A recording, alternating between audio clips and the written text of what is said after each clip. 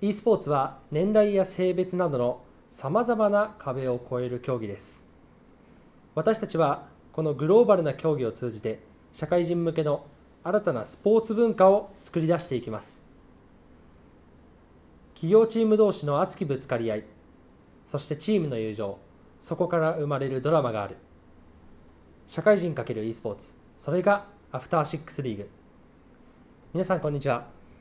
本日実況を務めさせていただきますインターネットカフェダイス所属のバシュロンと申します。そして解説はこの方です。どうぞ。皆さんこんにちは。本日解説を担当いたします和葉です。どうぞよろしくお願いいたします。よろしくお願いいたします。改めてアフターシックスリーグの紹介をさせていただきます。アフターシックスリーグは企業に所属するアマチュア e スポーツプレーヤーを対象としたリーグ運営を通じて競争と絆を創出する場を提供することを目指して設立されました。戦うつながるをコンセプトに e スポーツを通じてこれまで接点がなかった企業同士がぶつかり合い戦い合うことで生まれる絆やつながりの創出を支援します。またリーグ戦を実施するゲームタイトルは個人戦だけではなくチーム戦団体戦のタイトルを採用しております。チーム内外の交流を促進し e スポーツを通じた参加企業のコミュニティ形成を目指します。秋からはリーグオブレジェンドブロスタエイペックスレジェンズ e フットボールウイニングイレブン2021シーズンアップデートの4タイトルにて社会人アマチュア e スポーツの試合を実施いたします。またアフターシックスリーグは企業が e スポーツ活動を行う上で課題となっている練習環境や e スポーツ活動を行う拠点ツールなどを提供し企業の e スポーツ活動の活性化のサポートを行っていきます。さあ和田さん秋からアフターシックスリーグが始まりますが非常に楽しみですよね。そうですね、まあ、まずはこのプレ大会である、まあ、リーグオブレジェンドの大会も、まあ、その本当に接点のなかったまあ、会社同士が戦うっていう意味で、まあ、本来であればやっぱり事業の変化からどうしても接点を持てないような会社さんってたくさんあると思うんですけど、まあ、それがこの e スポーツという、まあ、その競技によって、まあ、ぶつかり合って、まあ、そこからまた新しいビジネスビジネスになっていく。でこれがアフターシックスリーグ、まあ、そのリーグが本当に始まってからも生まれるということで、まあ、かなり楽しみですね。ありがとうございます。さて設立記念大会の紹介と出場企業の紹介をさせていただきます。アフターシックスリーグの設立を記念してこの度アフターシックスリーグ採用ゲームタイトルとなっております。リーグオブレジェンドにて8企業によるトーナメント戦が開催されますが早速ではございますが今回設立大会に出場された企業のご紹介をいたします。株式会社 DNA 学校法人角川ドワンゴ学園。アクセンチュア株式会社。e ガーディアン株式会社。株式会社ストランダー。東日本電信電話株式会社。ビットクルー株式会社。株式会社アウトソーシングテクノロジー。以上の発射となっております。続きまして試合形式ですが8企業によるトーナメント形式。こちらオンラインにて実施いたしました。試合ルールはサモナーズリフトトーナメントドラフトの1試合選手となっております。さあこのルールなんですけどもどういう影響がありそうですか？まあ、もうすでに、えー、予選そして準決勝と行われていった中で、はい、まあ、やはり攻撃的にどんどん自分たちから有利を取りに行こうというふうに動いたチームが、まあ、そのまま試合のその展開を握って、えー、勝利に、えー、こぎつけていた試合ばかりでしたから、はい、まあ、そういった意味を込めてもやはりその一発勝負というところ、まあ、気が抜けない中で先にやはり先手を取って動いていくっていうのはとても大事なんだなというのがよく分かりますね。なるほどさあ改めてなんですけども、はい、ここでリーグオブレジェンドの紹介をしてもらいましょう。カズさん、このリーグオブレジェンドというゲーム、どういうゲームですか？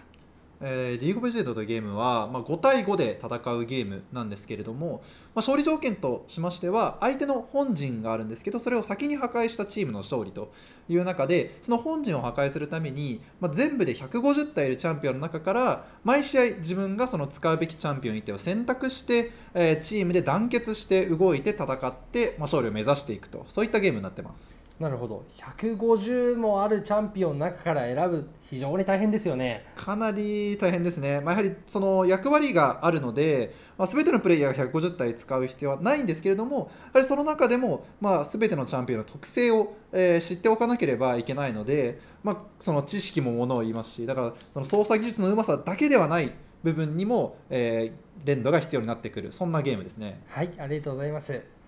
そして準決勝の方はもうすでに、えー配信を終えておりまして本日は決勝の方で進めさせていただきます。さあ準決勝の改めて振り返りをしたいんですけどもはい。前2試合どうでした？非常に面白い試合が続きましたよね。そうですね、その以前行われた準決勝の試合では、まあまずは、えー、と一つ勝ち上がってい、きました株式会社 d n a もうこちらはそのチーム全体として攻めることが得意なチャンピオンをどんどんと集めていきながら最初の準備フェーズの段階でも攻めの姿勢を緩めずにずっとずっと有利を握ろうという動きが続いていました。それによって、えーアクセンチャー株式会社はかなりこう振り回されたような試合になっていたなというのは印象的でしたね。なるほど、まあ、d n a がこの攻め型だとすると東日本電話新電話株式会社はまた違った形ですかね。そうですね、まあ、その以前、別の企業対抗戦などでも、まあ、優勝した実績を持っているだけあって、まあ、かなり戦い方があの、まあ、スマートですね、整った動きをしていまして、まあ、そのリーグオブレジェンドというゲームが、ま、5人で動いて戦っているというところが、まさしくその、動きができていたなという感じでしたね、まあ、複数の場所でアクションを起こしたこともあったんですけれども、基本的には、ま、5人でちゃんとこの戦える場所を作り出す。まあ、そういった動きが徹底されていたような印象がありましたね。なるほどそうするとこの2社の対決は d n a が崩せるかそして東日本電話、えー電信電話株式会社が崩されないかそういった戦いになりそうということですかね。うーんまあ、それだけではないと思いますけれども、まあ、事前情報、その準決勝での試合内容を見ていくと、まあ、そうなる可能性は出てきますね。なるほどさあその気になる決勝戦、えー株式会社 d n a 対東日本電信電話株式会社この決勝を見ていきましょう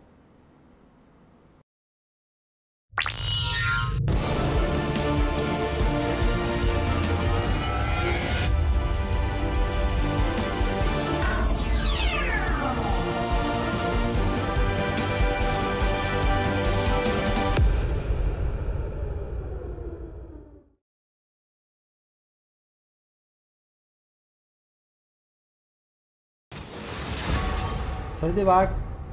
決勝戦。株式会社 d n a 対東日本電信電話株式会社。こちらの試合を見ていきましょ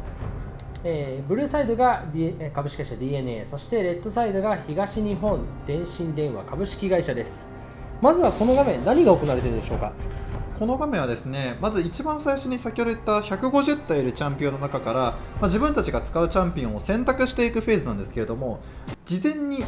それぞれお互い3体ずつ、えーこのゲームにおいて使用を禁止するチャンピオンを先に選択します。なるほど。なのでそれを今それぞれブルーチームレッドチームと、まあ、交互に左右と左右と、まあ、使用を禁止するチャンピオンを選んでますね。この使用を禁止するチャンピオンっていうのは相手だけ使えないとかそういうことですか？いやお互いにこの試合では使うことができないので基本的には相手の得意としているチャンピオンを消すことによって自分たちにとっては被害をえー受けずに、まあ、相手だけがえー大きなダメージを負うといったような形になりますね。とするとその自分たちが使いたいチャンピオンっていうのをバンしてしまうと自分たちも使えなくなってしまう、はいお互い使えるチャンピオンが被ってしまうと結構難しい形になりそうですね。そうですね、まあ、そうなった際には、えー、と先に、えーチャンピオンを選択できるのは左側のサイドからになるので、まあ、左側のチームとしては、まあ、自分たちは使いたいやつさえーチャンピオンをされてても1体はあー使用禁止から、まあ、免れることができるっていう形になりますね。なるほど。そして、かえー先に株式会社 d n a がチャンピオンを確定しましたこれはどういったチャンピオンですかね？レックサイというのは準決勝でも、まあえー、と使われていたチャンピオンで、まあ、かなりそのアグレッシブにはい。攻めの起点を作れるチャンピオンにはなります。あー特にこのジャングルというその、まあ、ロールの中で、えー縦横無尽にそのサモナーズリフトというマップを動けるレクサイというチャンピオンは非常に強力ですね。なるほど。それに対して東日本電信電話株式会社はガリオとエコーというチャンピオンですがこの2人はどういったチャンピオンですかね？まあ、ガリオはこちらも準決勝でもよく好んで、えー使われていたチャンピオンで味方を守ることに非常に長けたはい。チャンピオンですので、まあ、今回は相手が攻めてくるその先ほど事前に説明されていた株式会社 d n a が攻めてくるんじゃないかというところで受けて立とうと。自分たちが返しで、えーカウンターをして、えー勝ってやろうっていうのが東日本電信電話株式会社の狙いになりますね。でこの段階で相手の狙いいわゆる準決勝だったり試合を熟知していてそれに対してもう先手で対策取ってるということですよねまあ、先手というかもうその、まあ、分かっていたので事前情報で分かっていたので、まあ、こう来るんでしょっていうところを、まあ、相手のチャンピオンの選択から読み取ってますよね。なるほどいやもう非常に高度な情報戦がここでもうすでに行われるんですねうんそうなりますね。さあこれで2回目のフィニッシュフェーズバンフェーズになりますね。これはどういった基準でバンを決めていくんですか？えー、とすでにもうお互いが3体ずつチャンピオンを選択していまして、まあ、残っているその 2,、え2体ずつ選択する中で、まあ、役割がそれぞれの、えープレイヤーに違う役割が求められるので今、株式会社 d n a からすると、えーケイトリンというあとはカサリン2人のダメージを出すチャンピオンはもうすでにいるので、えー逆に言うと前線を張ってくれる。なるほど。ケイトリンやカサディンのもとにダメージがいかないようにしてくれるチャンピオンを選択したいので今、東日本電信電話株式会社はまあそのチャンピオンを使用禁止にしているというところですね。なるほど。体力が多いなるもしくは硬いチャンピオンをあの取りたいがためにそれを読んで禁止してるバンしてるということですね。そうですね、まあ、特に相手からその気を引かせるようなプレイですよね。なるほど。このまま放っておくと危ないぞって思わせるようなチャンピオンを特に禁止していますね。さあお互いバンフェーズが終わってもう一度選択のフェーズに入りました。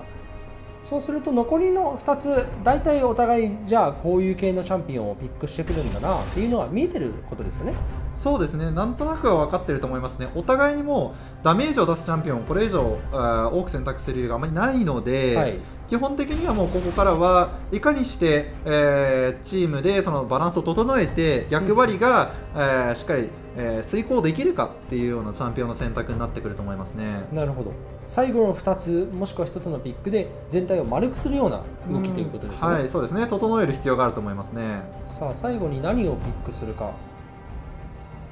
魔王会まあ、これも先ほど言っていたその、まあ、前線を張る味方を守るというのが得意なチャンピオンになりましたから、やはり株式会社 d n a としてはここはしっかりその役割を考えながら、えー選択をしていますね。なるほど。さあそれに対して東日本電信電話株式会社はどういったチャンピオンをピックするか味方を守るのが得意なチャンピオンでいいと思いますね。そうですね。ルルは味方を守るのが非常に得意なチャンピオンでして、というのも今のも先ほど説明したように、もうダメージを出すチャンピオンはすでにたくさん取れているので、はいもうこれ以上はいらないという判断で、あとはそのダメージを出すチャンピオンにダメージが飛ばないようにするのが必要だったので、最後にルルという味方を守るのが得意なチャンピオンを選びましたね。さあ始まりましたアフターシックスリーグ設立記念大会決勝戦ブルーサイドは株式会社 d n a そしてレッドサイドは東日本電信電話株式会社となっております。さあこの最初のフェーズなんですけどもこれはどういうことが起き行われるんですか？お互いの間で。まずはお互いにチャンピオンを育成していく準備フェーズになります、このチャンピオンのその、えー、と名前の左のところに1という数字があるんですけど、はい。これが今チャンピオンのレベルになってましてなるほど。18まで、えーチャンピオンのレベルが成長することができます。レベルが上がれば上がるだけどんどん強くなっていくので、はい。まずはこのレベルを上げるっていうところに各プレイヤー注力する時間帯になりますね。よくある RPG で序盤戦ってどんどん成長していくみたいな形を取るってことですよね、まあそういった形にはなりますね。でその上で重要なのがそれぞれのプレイヤーがしっかりと別々の場所に行って経験値を、えーっとまあ、集めていくレベルを上げていく必要があります。ほうほうほ今このサモラーズリフト右下ミニマップと呼ばれるそのマップがあるんですけど見ていただくと、え3本の道があると思うんですね。上からトップレーン真ん中がミッドレーンそして一番下がボットレーンと呼ばれる場所で、まあ、それぞれの道に1人以上プレイヤーを配置することによって、まあ効率よく経験値を集めていくことになりますね。なるほど。そうするとこのミニマップを今見てる限りその一番下のボットレーンと言われるところ2人するように見えるんですけどもまあ、ここはその、えーお互いに選択しているボットレーンのチャンピオンケイトリンというチャンピオンとジンクスというチャンピオンはダメージを出すことは得意なんですけど体が柔らかくあ非常に柔らかいチャンピオン危ないチャンピオンになるのですぐそばにその、えー味方を守ってくれるチャンピオンを配置することによって安全に経験値を集めているというチャンピオンになりますね。なるほどダメージが出てくるのが柔らかいというと一長一短を補うような動きあーそうなりますね。なるほど。一方で西と真ん中のあのチャンピオンたちはどういった特徴があるあったりしますか？結構ここは本当に多種多様な役割を持ったチャンピオンがいまして、えー例えば右側のその東日本電信電話株式会社チームの見てるのガリオは、えー比較的固めなチャンピオン自分がダメージを出すよりも、えー自分はその味方の攻めを、えー補佐するはい。役割のチャンピオンなんですけど対して左側のツインテレスが使っている、えー株式会社 DNA が使っているカサリンというチャンピオンはどんどん相手の懐に入り込んでダメージを出すことが得意。特に瞬間的に大きなダメージを出せますね。さあ猫がここにちょっかいをかけるような形でしたがこのじゃあ先ほど言ってたんですけどこの猫選手とあとシュート選手がいるポジションっていうのはなんか固定化してないように見えるんですけど。そうですね。このゲームにはジャングルと呼ばれる場所が存在していてそこにモンスターを買って経験値を集めています。なるほどどちらかというと奇襲するような役割ってことそうですね。サモナーズリフトのマップ全体を自由に動き回りながら、えー時にはこういった形で、えーレーンにいるこの道にいる敵にプレッシャーを与えていき、まあ、人数の差があれば、まあ、3対2であれば人数が多い方が勝ちやすいので、まあ、そういったプレッシャーをどんどんかけていきますね。なるほど最後の一番上のトップレーンこのサモリス選手とガード選手がいるところ。ここはどういったところですか？まあ、ここには基本的には非常に体力が多く、まあえー、とチームの前線を張る。5対5の戦いになった時に一番最前線でぶつかり合うようなチャンピオンたちが、えー多くいる。そういった例になってますね。なるほど。とこれをノックアップもう一度仕掛けに行きました猫ただ後藤マンはこれはスキルを使って下がりきることに成功しています。ちょうど一つ前の戦闘で、まあ、ゴトマン選手がフラッシュと呼ばれる、まあ、サムラースペルを落としました、このゲームはゲーム開始時にそれぞれのプレイヤーが2つ非常に強力な、えー呪文を選択することができるんですね。それがサモナースペルと呼ばれるものなんですが、まあ、それは強力な代わりに一度使用すると再使用までの時間が非常に長い特殊なスペルになっているので、まあ、今、えーゴトマン選手はそのスペルがない時間帯というのを狙われてしまいましたね最終大体5分6分ぐらいあるんでしたっけ？そうですね。そのフラッシュというサモナースペルは、えー再使用までの時間が300秒。300秒、はい、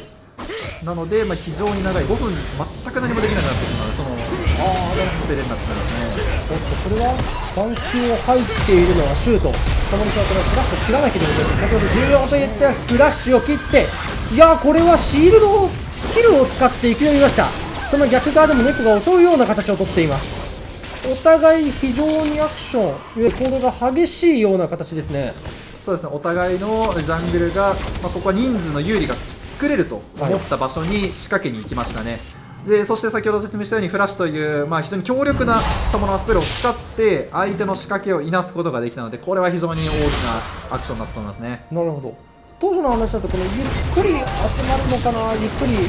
試合をしていくのかなと思ったんですがかなり激しめな印象なんですよね。準備フェーズとは言ってもですね、はい。何もしないのが準備フェーズではなくてですね先手を取って相手よりも先に何か動いていってえーそれによって相手は準備する時間を失い自分たちは逆に経験値あるいはゴールドをお金を獲得することによってお金をアイテムに変えることができるんですね。でそのアイテムは自分たちのチャンピオンを強くしてくれるので、まあ、結果的にそれが、えー準備として一番いい段階になるということになりますね。なるほど、まあ、取れる有利は取っておこうということですよね。そうなってきますね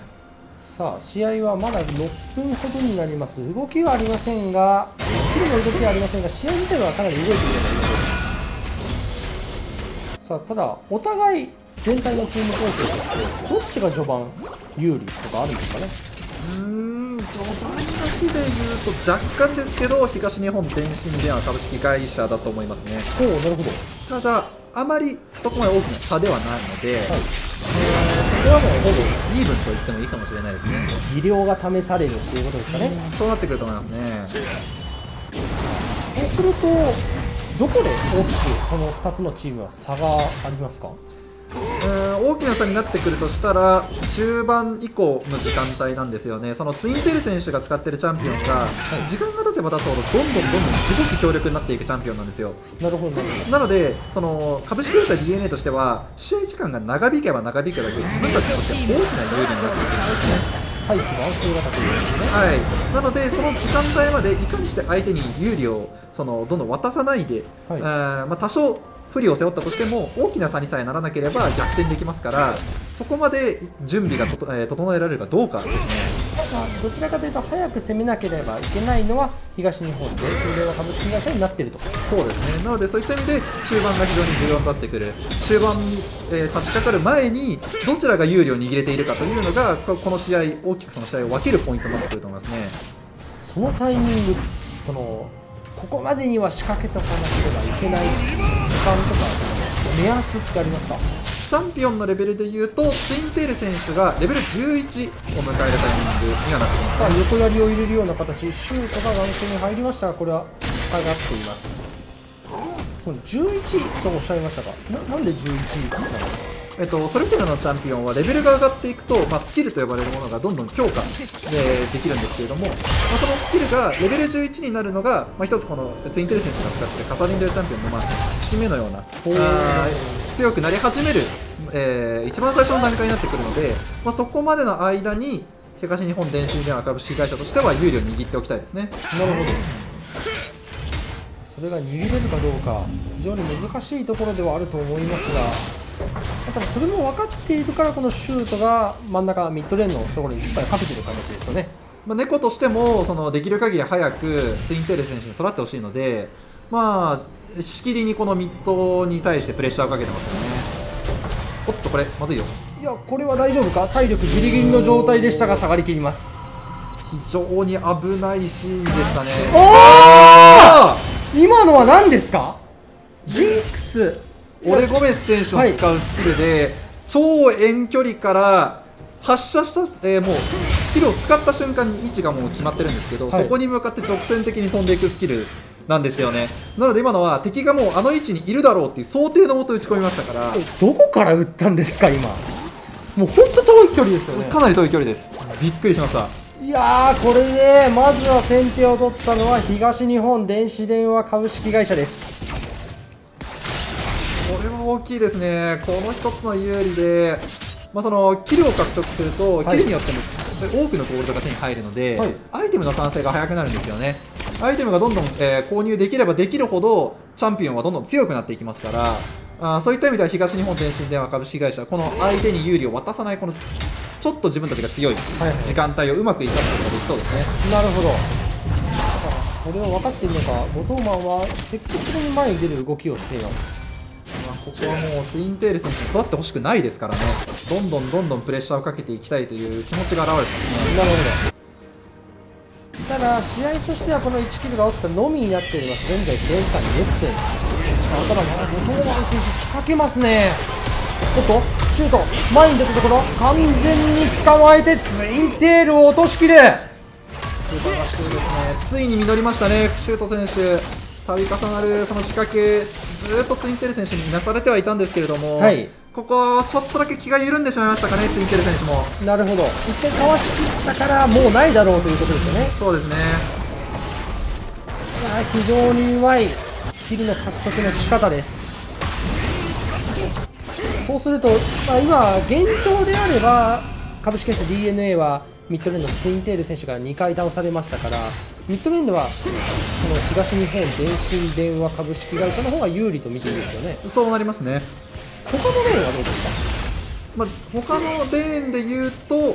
あー株式会社 d n a の方が少し有利を握っているなという印象はあるんですが、かはい。一番気になるのがジャングルなんですよね、はい。自由に動けるその猫選手が今この、えーミッドレーンでいざこざが起きている間にもうリフトヘラルドと呼ばれる、えーモンスターを飼っていましてまあそれによって得られたバフで、えータワーを破壊することが簡単になります。このゲームは本陣を破壊したら勝ちなんですが、はい。そのためにはその本陣を守っているいくつかの建造物を破壊していかないと本陣を攻撃することができないんですね。なるほど。なのでその建造物を破壊することに一番長けた、えーバフを獲得してますね今。そのそれをなんかどう生かすべきなんですか？やはりツインテール選手のいるミッドレーンのその建造物を破壊したいですね、ツインテール選手が育った方がいいので、はいはいはい。ただ後半に今ボットンでしたかね。そうですね、これ、ボットに出しましたね。これはツインテール選手は、今書いてもらって、はい。それよりも09選手になってもらおうということのようですね。方針転換をしたということですかね。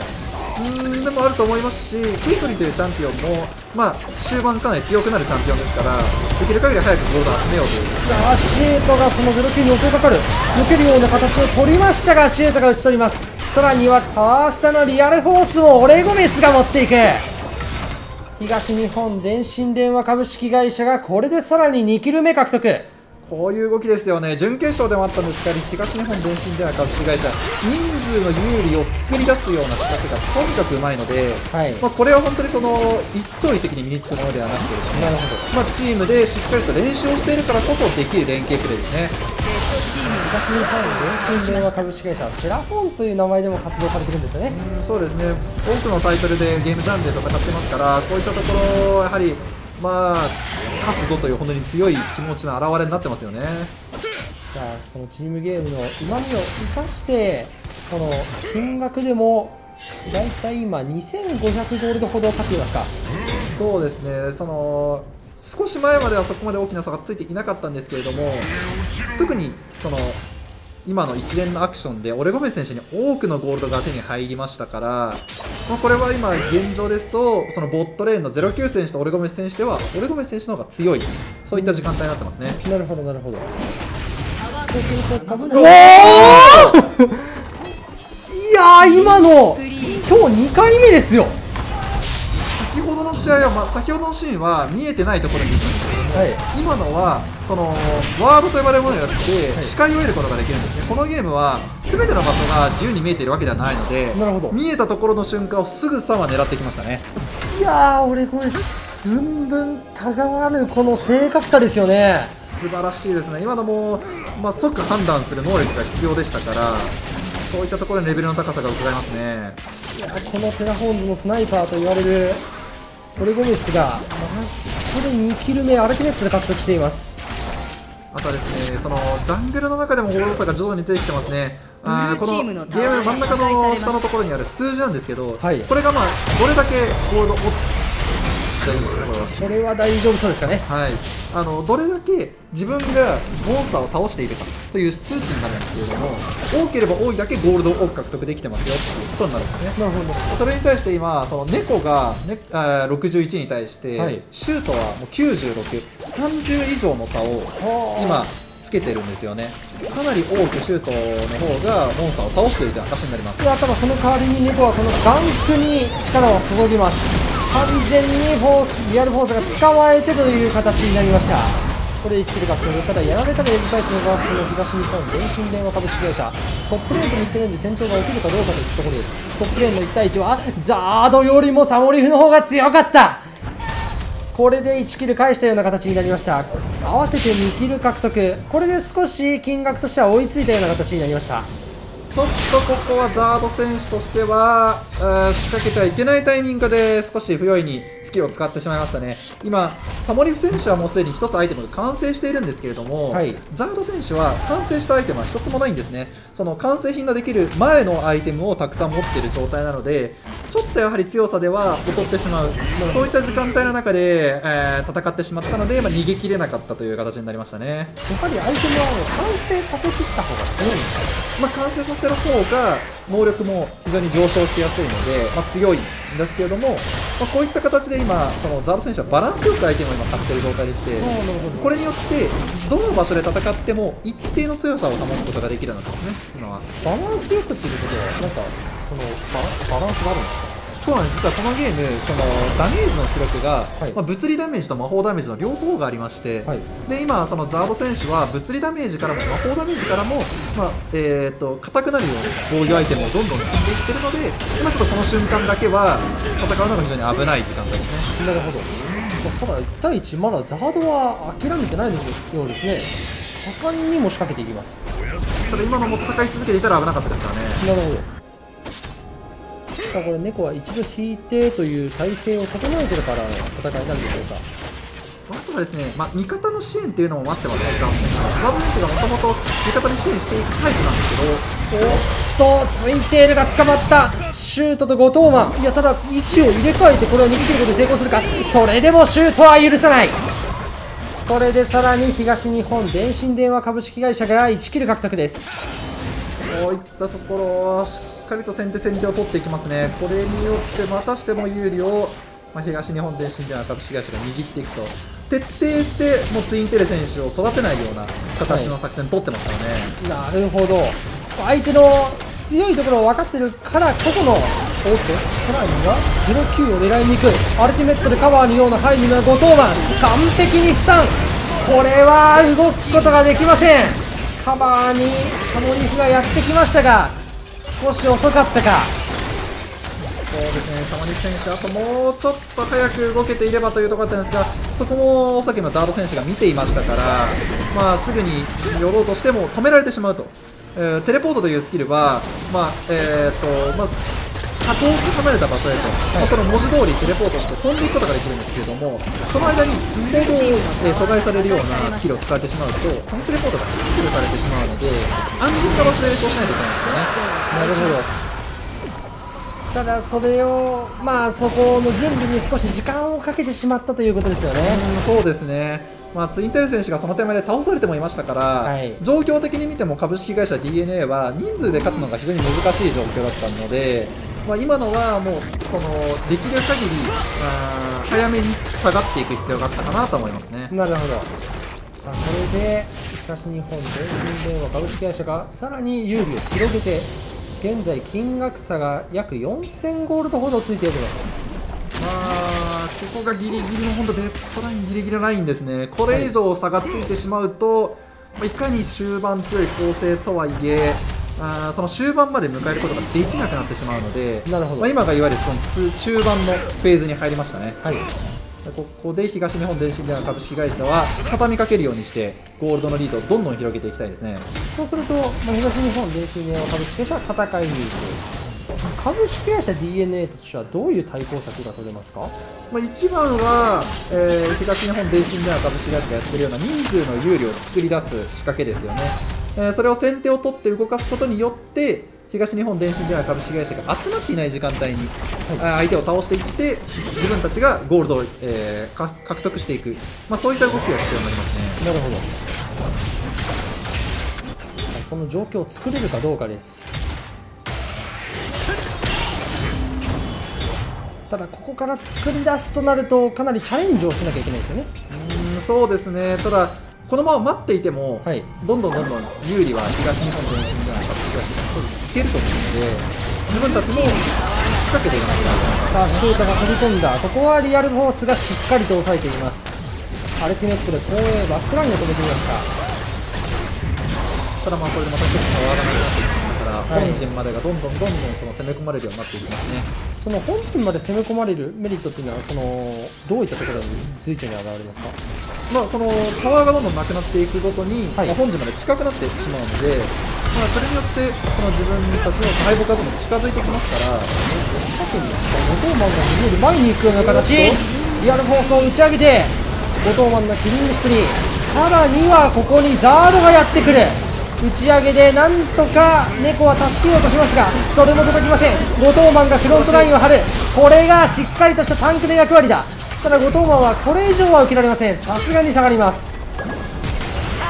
あこれは反転の判断バスケットを狙いに行くような形。アルティメットを展開して1対1の状況を作っています。サモリ深いシュート。さあこれはどうするか。スタンが入って一度止まります。さあ目の前に現れるのはザード。シュートは下がるような形。アルティメットで1を作って反転が完璧だ後藤マンこれで1キル獲得。さらには狙いに来たツインテールに対してダメージを出しています。タワーも折り切って有利を取り切りました。は素晴らしいですね、シュート選手、本当にうまかったですね、今、サモリ選手のアルティメットスキルによって、強制的に1対1の状況を作り出されてしまったんですね、えーしかもそれはサモリ選手によって有利な1対1の空間が作られるんですが、はい。そこを自分、シュート選手、スキルを使って時間を稼いで、稼いで、1対1の状況から、えー脱出したその瞬間に味方が助けることによって1キルものにしましたね。なるほどいやこれはもう連携の勝利と言っていいですよね。そうですね。今のもその1人で戦っていては絶対に勝てなかったところを、まあ、5人の息を合わせることによって相手の攻めをいなしましたからね、はい。これでさらにリードを広げました。あー風さんが言われた少しデッドラインというのを少し超えたような形の金額差になってきましたけども。相当苦しい差になってきましたね、まだまだツインテール選手育つには時間がかかります、ここはもうすべて本当に序盤から東日本電信電話株式会社が作り上げてきたプラン通りになってきてますから、はい。株式会社 d n a としては、このプランを崩さなければいけなくなってきてます、うーん本当にそうなると、猫選手が鍵ですね。なるほど。さあその鍵となる猫選手がどう動くかシュートの位置が見えているか。ザードが猫におこれは猫が打ち上げるような形です。さあそこに寄ってきていますいや集まりが早い。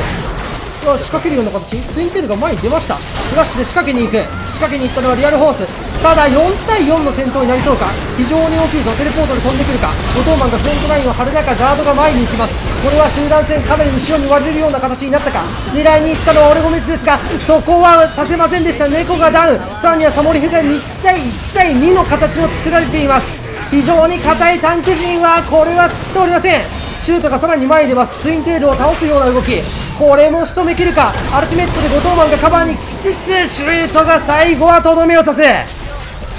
これで4キル獲得。のもう東日本電信では株式会社のカウンターが見事でしたね、最初に仕掛けたのは株式会社 d n a だったんですが、はい。すぐに寄れていたことによって、ちょっと株式会社 d n a としては判断がぶれてしまったんですね、仕掛けていった、えーリアルフォース選手と狙われてしまったがゆえに下がりたいという判断になったダメージのする09選手というところで、距離が空いたところを見逃しませんでしたね。なるほど。かなりそのお互いのその意図を逆に相手がいわゆる東日本電信電話株式会社汲み取って分断したような形でしたよね。うんそうなりましたね、まあえーここはやはりここまでゴールドのリード、えーアイテムの差を作り出してますから、はい。普通に戦えばその素直に人数同同,、えー同人数で戦えば勝てるだろうということがもうチーム全体で共有されているので今のファイトもその例えば今のが d n a が4人、はい。えー東日本電信電話がよ、え2人とかであれば下がっていたと思います。なるほどただ、もうすぐに、えーそばに味方がいて、人数が同数で戦えることが分かっていたので、絶対に勝てるというふうに判断して仕掛けてきましたね。まあ組み立て方も d n a としては非常によくアイテムが揃っていればといったところでしたよねうーんそうでしたね、本当にその状況がイーブンであれば、今のは非常に素晴らしい入りだったと思うので、はいそれだけに、まあ、ここまでゴールドの差がついてしまったっていうところが、まあ、重くのしかかってしまいましたね。なるほどさあ試合時間はもう間もなく25分になろうかというところ。これはおっと捕まえるのかシュートの前に出ます。ただ人数の振りを見て下がりました。プレッシャーをかけてきましたね。もう今20分を過ぎたことによって、バロンナッシャーという非常に強力なモンスターが出ています。このはいモンスターを倒すことによって、バロンバフというそのゲームの勝利に大きく貢献できるようなバフが手に入りますから、なるほどあーそのバフが欲しいのが東日本天津では株式会社、取られたくないのが株式会社 d n a という構図になってますね。逆に言えば株式会社 d n a が取れば試合時間引き延ばしができるっていう。そうなりますね。ゴールドも多く手に入りますから、タモリクが前に出る。いやただごいやーオレゴメスが強い。本来の力関係って逆ではあるんですよね。まあ、結構そのティンテレ選手が使っているカトリンテルチャンピオンがいて追いかけ回してあーシュートが前に来る、アルティメット、これはシェンが重なって、さらには後藤マンが来る、これは完璧に寄り上がっているのは東日本電信電話株式会社、シュートがキリングスクリーン、いやー、オレゴメスも非常にいいダメージが出ています。まあ、もう瞬間的に1人だったはずなんですけど、は